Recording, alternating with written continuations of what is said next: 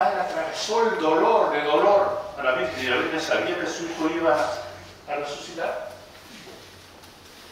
¿Sabía? ¿Sabía? Si Jesús les, había dicho, por el tercer día, ¿ya?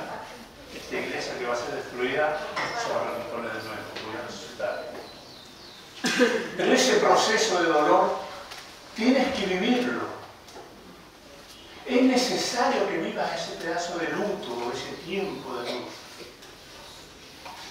Acá dice que cuando llegaron a la aldea, ¿qué vieron los 600? ¿Qué vieron? Cuando los 600 llegaron de expedición a Siquelá, ¿qué es lo que vieron? Todo destruido, todo quemado. ¿Y su esposa y sus hijos? Se lo habían llevado, se lo habían secuestrado. Entonces, ¿qué hicieron? Se pusieron a llorar 600 guerreros, acostumbrados a luchar y acostumbrados a las victorias que el Señor le daba día tras día se pusieron a, llorar. ¿Qué le decimos nosotros? No, pues, no, Victoria. No, arriba, arriba el ánimo, arriba el ánimo. Si ya esto va a pasar. Fácil, ¿no? ¿Fácil?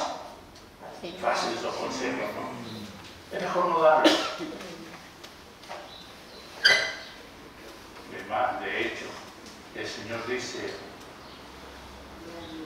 en, en muchas oportunidades, ríe con quien está gozoso y llora con el triste. O sea, ponte los zapatos de él. Bueno, de hecho los estos 600 lloraron, se quejaron, insultaron. ¿Por qué? ¿Cómo? Venimos de una expedición y cómo a David, el general este tan inteligente, tan lleno de Dios, con tanta sabiduría, se les ocurre llevar a los 600 hombres y no dejar un pelotón ahí a cuidar del pueblo? No, permitiendo que los enemigos se llevaran todo. Y se fueron contra él. Quisieron hacer un golpe de Estado contra David. ¿Qué hizo David? Dice, eh, David estaba en grandes apuros pues su gente estaba muy amargada, cada uno por sus hijos y sus hijas y sus esposas, y hablaban de apedrearlo. Pero escuchen esto, pero David se reanimó con Yahvé. David se reanimó con Yahvé. ¿Qué hizo David? Se fue a un costado. Se fue a un costado ahora. Se fue a un costado y había músico. ¿Qué solemos hacer los músicos? Bueno, por lo menos. Yo en mi casa les digo a mis hermanos, tengo un sillón en mi casa y siempre a las seis de la tarde tengo la cita con mi Señor. Seis de la tarde. Esté viendo películas, esté tomando el té, esté haciendo que esté, pero ya sí, falta un cuarto de hora faltan cinco minutos, y aunque la película está muy buena, ¡pa! La apago y me voy a mi cita. Y agarro mi guitarra, y a veces me pongo a cantar, a veces me pongo a orar, y a veces no digo nada. Me siento a estar ahí con mi Señor, porque ese es el momento de mi cita con mi Señor. Supongo que David habrá agarrado su arpa, se fue a un lugar solo y empezó a cantar. Bueno, de hecho dice que es, empezó a adorar. No se puso a llorar. Empezó a adorar, empezó a alabar. Y después le preguntó al Señor, ¿qué hago, Señor? ¿Qué hacemos? ¿No? ¿Los perseguimos? ¿Vamos a recuperar a nuestra esposa, a nuestros hijos? Ellos venían de una expedición de cuántos días? Venían de una expedición de tres días. Eran guerreros muertos de cansancio. Y el Señor le dijo a David, sí, anda, anda, lo vas a rescatar a todos y no va a morir ninguno. Promesa del Señor. Ninguno va a morir. Anda a buscarlo, persigue. Y la historia se pone muy interesante más abajo porque dice que David fue con 600 hombres a rescatar a, a su familia, a sus hijos, sus hijas, su esposo. Pero dice que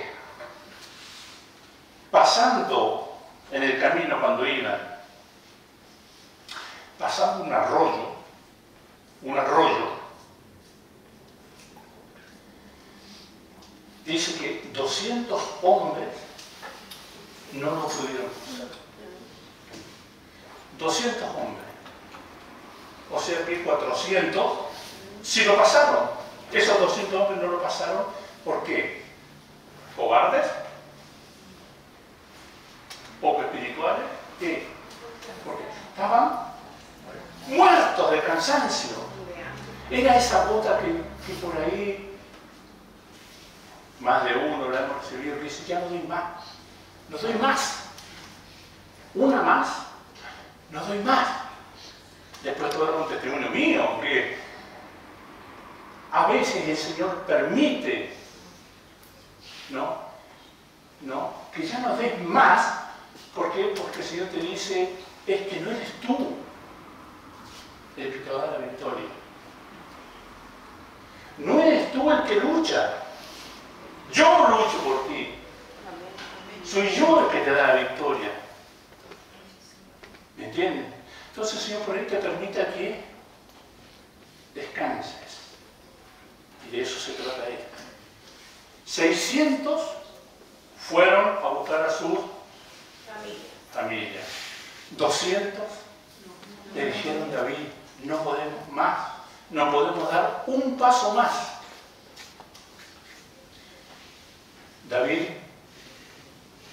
muy sabio, él les dijo, está bien, quédense de esta parte del río, del arroyo, descansen.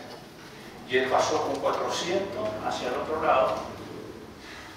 Alcanzaron a los amalecitas y como halcones se fueron contra esa rata, masacraron a los amalecitas, recuperaron a todas sus esposas, a todos sus hijos, le sacaron todo el botín que ellos tenían, que se habían robado, más otra, otros botines que tenían los y se vinieron con toda la riqueza de vuelta. ¿Recuperaron a quiénes? ¿A cuántas esposas? ¿Cuántas eran? 600 esposas. ¿Quiénes son esos 400? Esos 400 son muchos de ustedes que siguen firmes en la fe. Que siguen firmes, no que los otros no hayan tenido fe, sino que quiero que se pongan los zapatos de los otros, que hay veces que dice, uno dice, basta, no puedo más, no puedo dar un paso más. Y están estos 400 que es lo que debemos hacer, apoyar, ir a la lucha por esos 200 que ya no pudieron. Pero el problema es que cuando estos volvieron con las 600 esposas, saquemos un poquito de cálculo. De esas 600 esposas, ¿cuántos venían, cuántas esposas venían autoenojadas? ¿Cuántas? 200. ¿Se imaginan que fueron 600 esposos valientes ahí con sus caballos blancos, ¿no? Sobrinados del príncipe, a buscar a sus princesas? Y 200 dijeron, ¿y el mío? Y los otros dijeron, no, lo que pasa es que se quedaron no daban más, se quedaron descansando en el arroyo. ¿Qué qué? ¿Qué qué? Se quedaron descansando y no fueron capaces de venir a buscar a su esposa, a su hijo. no importa nena, te llevo yo, tu esposo, decían los otros 400, vamos, vamos, súbete al caballo, vamos. ¿Cuál fue el problema? Cuando llegaron de vuelta, con todo lo que traían de vuelta, muchos de los 400, y aquí viene otro gran,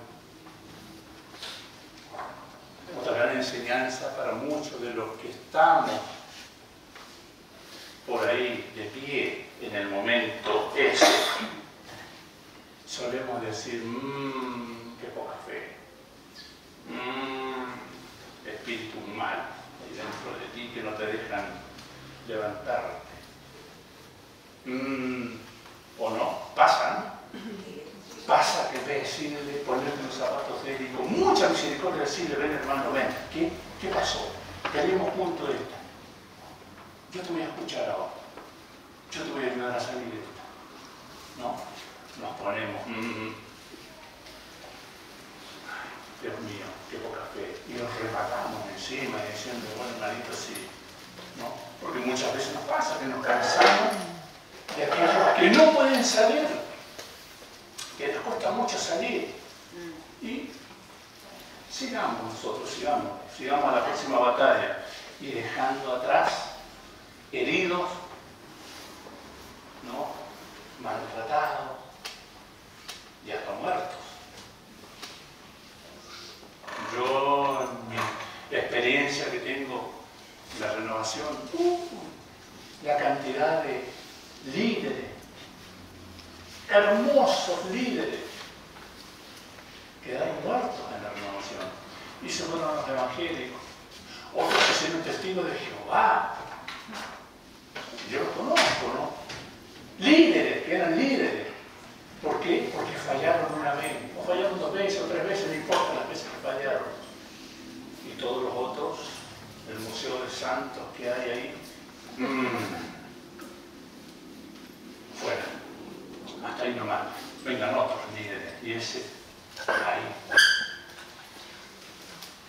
Estos son los 400 que dijeron, bueno, algunos de los 400 que dijeron, imagino David, ¿no? que por justicia no le bajara la recompensa a eso, ¿no? Porque ¿quiénes fuimos a pelear?